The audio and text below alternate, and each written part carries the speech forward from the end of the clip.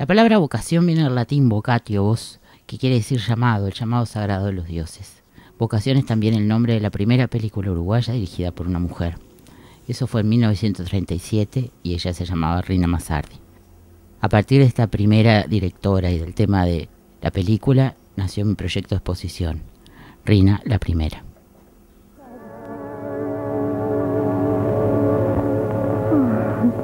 Rina Massardi fue una soprano con una exitosa carrera internacional y una historia de amor muy triste. En su película hizo que el final fuera feliz y la protagonista, que era ella misma, pudiera realizarse como artista y como mujer. Para eso escribió el guion, consiguió los recursos necesarios, dirigió y trabajó más que 10 hombres, como decía ella misma. Esta fue su primera y única película, una película autorreferencial reivindicativa del derecho de la mujer artista a no renunciar a nada.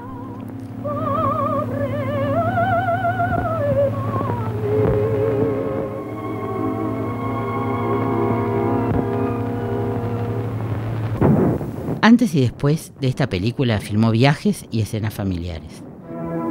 La película no tuvo gran éxito de público, pero fue exhibida en el Festival de Venecia de 1939.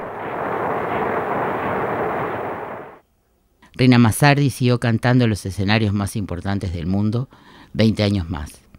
Y luego dio clases hasta casi su muerte, 40 años después del estreno de Vocación.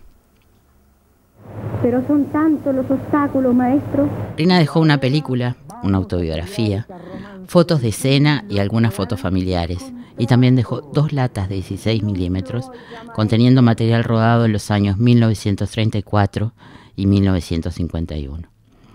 Estos son los puntos de partida para mi obra.